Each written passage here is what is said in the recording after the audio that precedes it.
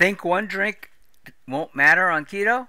What if I told you it can shut down fat burning for 72 hours and rewire your liver to store fat instead? Stick around. I'll show you exactly why alcohol and ketosis don't mix and how even moderate drinking hijacks your metabolism. Hi everyone, my name is Marc Bates. I'm a metabolic health coach, and this is part of my highlights presentation series. Why one drink can destroy weeks of ketosis. Here's what happens inside your liver. You know that the liver treats alcohol like a biochemical emergency. When ethanol enters hepa, hepatocytes, that's liver sites, during ketosis, cellular machinery abandons fat burning and ketone production to prioritize detoxification because alcohol is a poison. This metabolic hijacking creates a cascade of disruptions that can halt therapeutic ketosis for days, not just hours.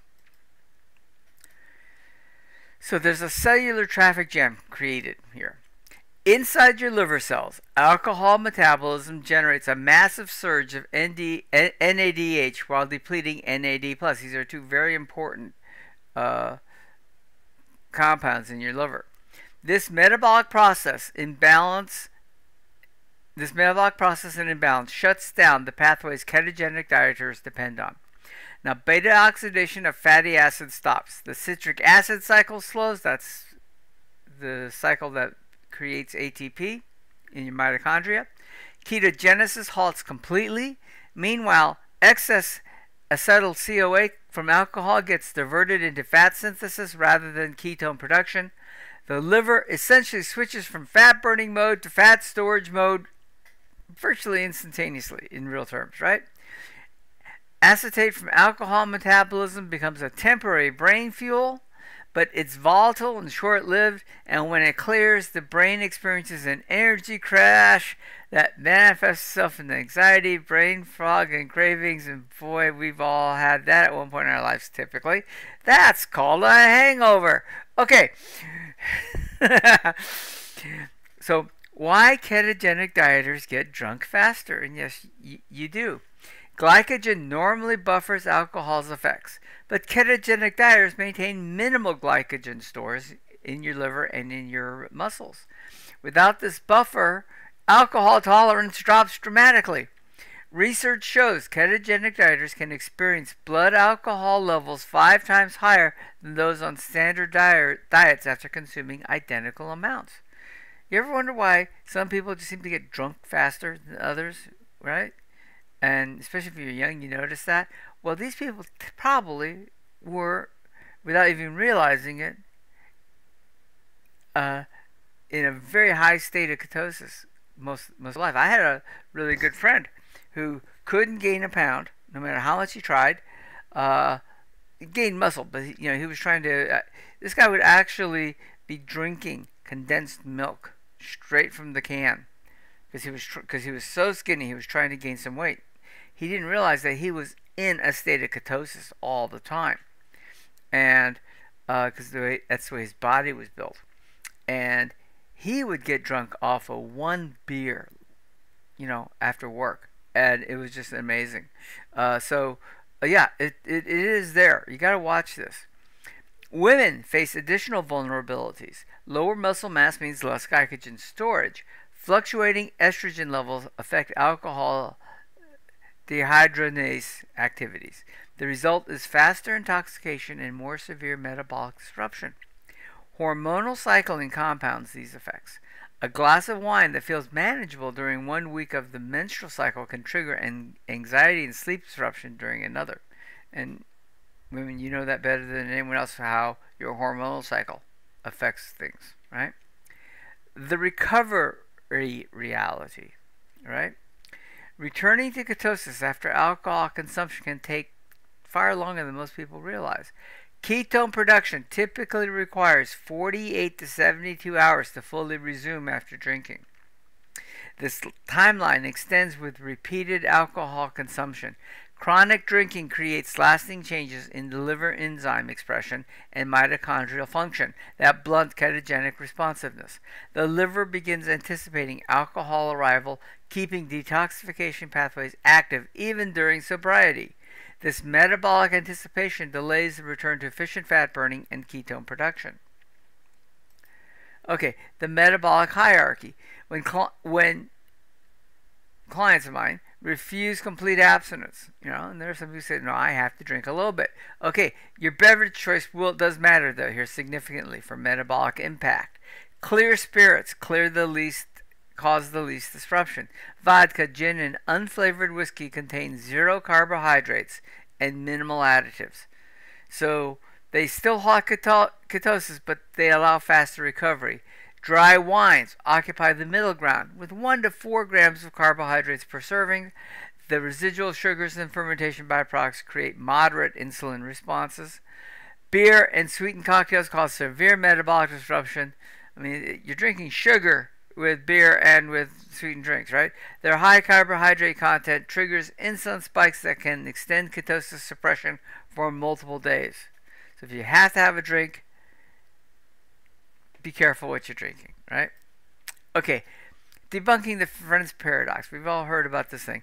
The cardiovascular benefits attributed to moderate alcohol consumption don't apply to metabolically compromised individuals using th- therapeutic ketosis. Now, that's a key point here. Okay? If you are metabolically healthy, you have no issues, and you're in ketosis just as a natural part of your day, yeah, the occasional bit of alcohol is not going to hurt you. But if you're trying to heal, don't, you know, don't hijack your healing by taking a drink. If at all possible, avoid all alcohol when you're in a healing mode. Okay? French populations with low cardiovascular disease rates consume minimal amounts of wine with meals. They don't drink like like sieves. They, they, right? They, they have a little bit of wine with their meals, and that's fine for these people who are mostly metabolically healthy, right? They avoided processed foods and maintained insulin sensitivity, which is the key factor here.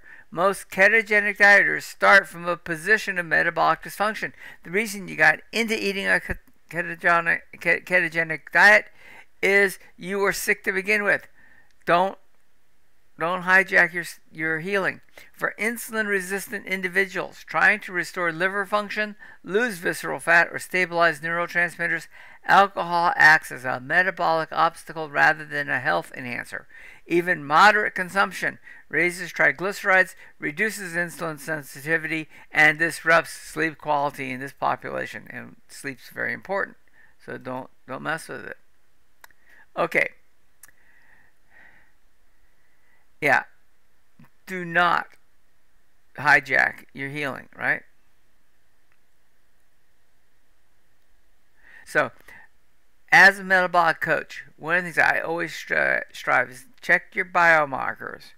Make sure you know where you're at. If you're still in a healing phase, and for most people, this can last several years, avoid alcohol if at all possible, right? I mean, I, I never have a problem.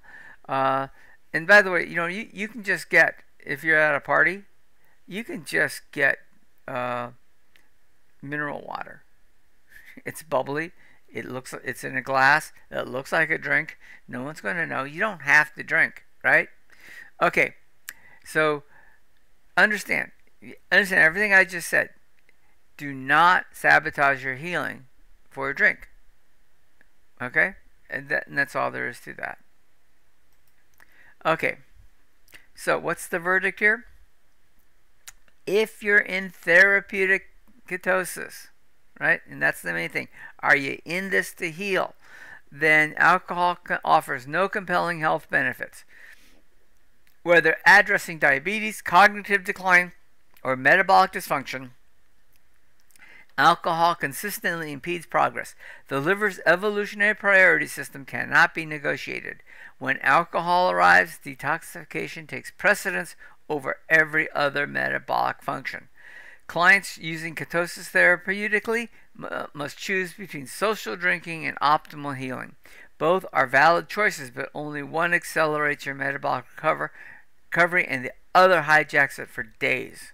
Okay? For those committed to therapeutic outcomes, complete abstinence aligns with the precision required for metabolic restoration. Remember, we talk more we talk less about getting the, the correct macros and and enhancing the signaling of your within your body and your hormone production and all that. And alcohol just halts all that signaling, halts all that hormone, correct hormone production and all that. A little bit of alcohol, if you're metabolically healthy, it's not going to hurt you. Any amount of alcohol, if you're in a healing mode, it's just bad for your healing. Okay? All right. Thanks for watching. This, by the way, was a request. This was deep in my in my list of things I was going to cover, but somebody who's a friend of the channel said, "Hey, I, you know, what about social drinking? Do I have, can I have a drink once in a while?" And so this is an answer to that question. Hope hope you liked it. Please comment. Please uh, provide any ideas of things you might also want. I said, I, it does influence what I put on up on the channel, right? This is a uh, community to help you. I need to know what you want, and then I can pr prioritize that information. And as always, if you haven't done so, please like, subscribe, and share this video with someone who may need it. Thank you very much.